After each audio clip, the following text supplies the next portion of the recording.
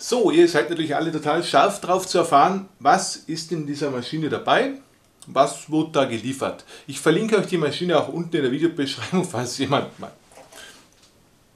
125 Kilo Bestückmaschine daheim stehen haben möchte, damit ihr wisst, wo ihr die bestellen könnt.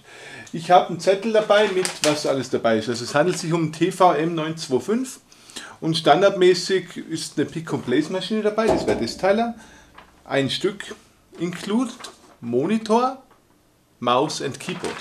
Also praktischerweise, die haben hier einen Monitor halt, ich muss ja alles noch zusammenschrauben, der kommt irgendwo hier hin.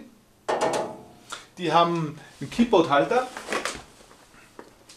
mitgeliefert, haben ein Mini-Keyboard mitgeliefert. Das ähm,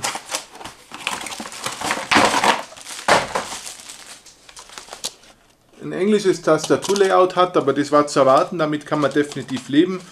Ein schönes kleines Mini-Keyboard. Die haben eine Maus mitgeliefert. Und, was ich total putzig finde, die haben ein Mausbett mitgeliefert. Und zwar so ein süßes kleines Mausbett.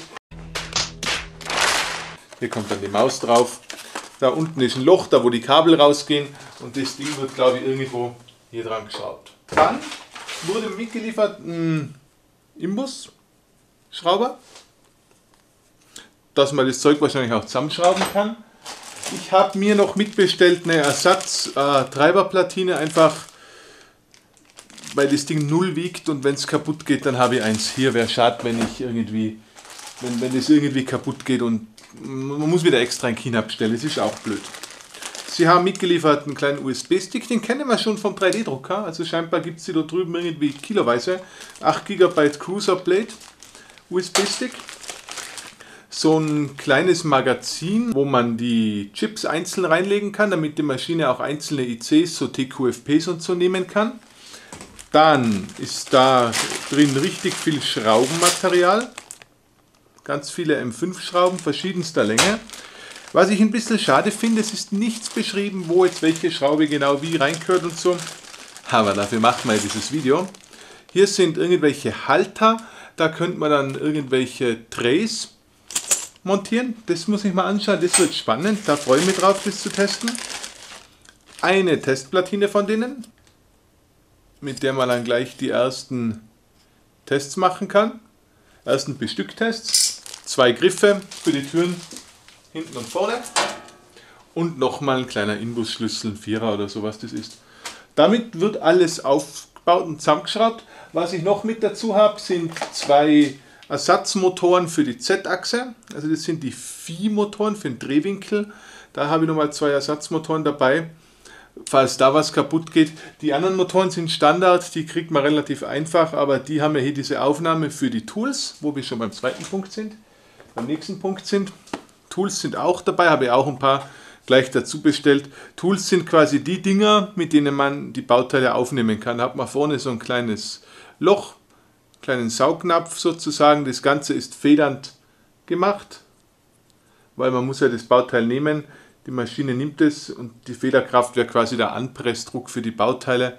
Und hier hinten entsprechend wird es dann, schätze ich jetzt mal, hier ja, hineingesteckt. Und dann sollte es einigermaßen dicht sein. Da drin ist eine Kugel eingebracht und mit dieser Gumminupse hier hält die Kugel quasi so leicht federnd dass das einrastet und auch drin bleibt. Das sind die Tools, da habe ich auch gleich verschiedene Größen mit dazu bestellt, weil es einfach, ja, man braucht halt für 0805 ein anderes Tool oder halt, wenn man jetzt größere Chips hat, für so ein Atmega 32U2 oder so in TQFP braucht man schon eher sowas in der Größenordnung. Deswegen habe ich das gleich dazu bestellt. Die Tools sind auch Standard von der Größe, die kriegt man auch von anderen Herstellern zu kaufen. Dann ist ein Stromkabel dabei, erstaunlicherweise mit richtigem EU-Stecker. Was ich total putzig finde, was dabei ist, ich finde es echt mega. Eine kleine Dose. Uah. Fett. Dass man quasi die Achsen und so nachfetten kann. Weil, das muss man bestimmt auch ab und zu machen, einfach die Achsen nachfetten damit die nicht rosten anfangen, damit die Maschine leichtgängig bleibt und so weiter. Daher ein bisschen Fett mit dabei. Und zu guter Letzt eine Anleitung, TVM Desktop Pick and Place Maschine. Da wird vom Aufbau nicht sonderlich viel erklärt, aber da ist zumindest schon mal ein bisschen was von der Software erklärt. Es wird sogar erklärt, wie man von Altium Daten generiert und in die Maschine importiert. Äh, sind ein paar Sachen für die, für die Bildverarbeitung, wie man die einstellt, erklärt. Aber dafür mache ich dann wieder ein separates Video, wo ich das mit euch durchgehe. Irgendwo ist auch, glaube ich, erklärt, wie man die Fieder in Betrieb nimmt. Das wird dann nämlich gleich eins der spannenderen Punkte, wie man die Fieder bestückt. Aber das schauen wir uns auch in einem separaten Video an. Hier nochmal die ganzen Nozzles auf Englisch, die ganzen Tools bezeichnet mit auch verschiedenen Größen und auch empfohlen, zum Beispiel Suction Nozzle Number One, recommended for 0603 oder die größere recommended for 0805, dass man auch weiß, was man bestückt.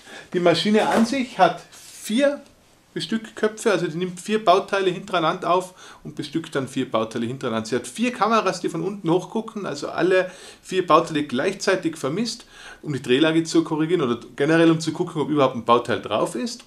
Und sie hat noch eine HD-Kamera hinten, mit der man größere Bauteile angucken kann, glaube ich, oder genauer angucken kann. Und sie hat dann noch eine Kamera, die von oben runter guckt, also sechs Kameras in Summe, eine Kamera, die von oben runter guckt, um eben Bildverarbeitungsmerkmale auf der Platine zu erkennen, weil sie muss ja wissen, wo die Platine sich befindet und so weiter. Ja, das war's mit dem Lieferumfang. Im nächsten Video schrauben wir es zusammen, bauen es mal auf und schauen, was da alles dabei ist und wo welche Schrauben hinkommen. Ich hoffe, das hat euch bisher schon gefallen. Ich hoffe, ihr bleibt dabei. Es wird definitiv spannend.